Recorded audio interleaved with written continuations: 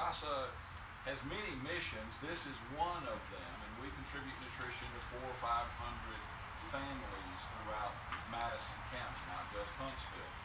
Uh, but we also build ramps for the homebound with wheelchairs, uh, that type of thing. Anyone who's bedbound under over 40 and homebound over 60 can be helped. We also have a program called Temps, where we come in and attempt to weatherize and help people get their windows covered with plastic to cut down on drafts and keep the houses as warm as possible, fix major rotting issues. The other thing we do is help people with uh, grab bars in the bathrooms and things like that. So anything we can do to help people age in place is essentially what CASA's mission is. We're one of many different things that CASA does, and we are volunteer only here. Um, we have a core of four or five folks who come really often. Occasionally we'll get a big group in, but we run pretty much year round. We'll take off the 15th of December. We'll come back about the 15th of January to pick the harvest back up. We'll start planting the third week of February, and we just keep going. We have something goes in the ground here every two weeks, and uh, we just sometimes it works, sometimes it doesn't. And, if it doesn't, we figure we've made compost, and we need that, a lot of that anyway. So we, this garden has been here since 2001.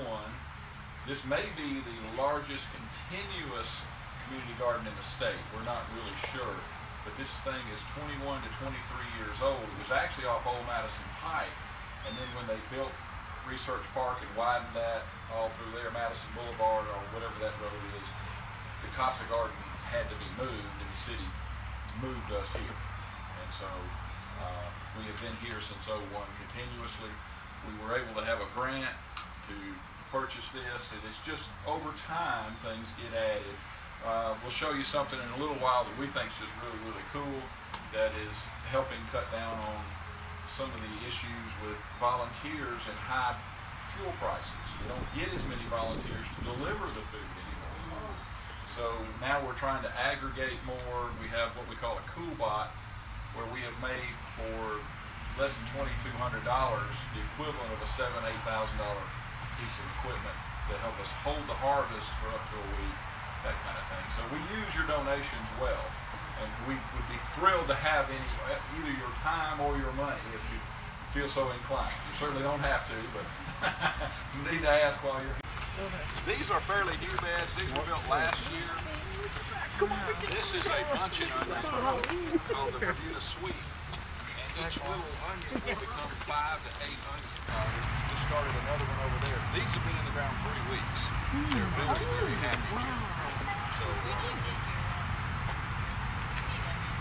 Well, Nicole gave us some leeks last year, but these we actually pull and onions. If you're growing onions, whether it's these or others, one of the things we've learned is if you're taking and harvesting the bulb and that first part of the stalk, don't throw the other part away. Either crush it up, freeze it if you don't need it right then, put it away, and then you can use it to make a concentrate as a pest control.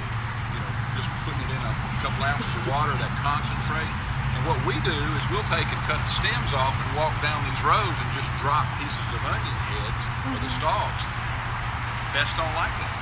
So it's just any little thing. It lasts about 10 days, but that's 10 days we don't have to spray anything.